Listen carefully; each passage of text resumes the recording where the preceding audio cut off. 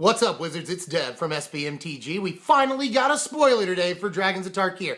This one, and we only get one today, it looks like. Wizards said they were going to start uh, spoilers on Monday, so it looks like this is just a special little get hype gift from WotC. This card is a Deathbringer Dragon Lord. It's a 7 mana, 5-6 flyer. When it hits the battlefield, if there are five or more creatures currently on the battlefield, destroy all other creatures. That's pretty good. Um, in sealed and definitely commander, I think we'll see some stuff with that.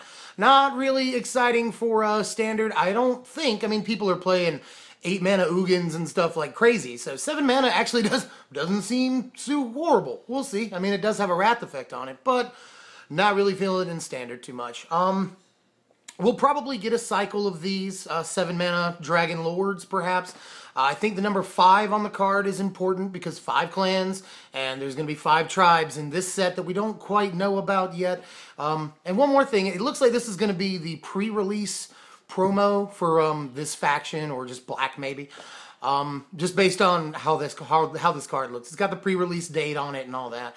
So I would say if we do get a cycle, it will probably be the pre-release promo seven mana Flying Dragon cycle. Flying Dragon's probably redundant. But in any case, um, that's all we get for right now. That's how I feel about it. Probably not a standard or modern, obviously, card, but probably a thing in sealed play and Commander. Commander players probably really like this card.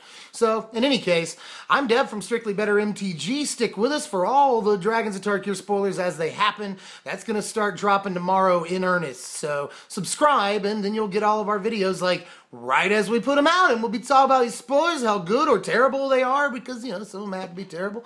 I'm Dev from SBMTG, and I'll see you fools later.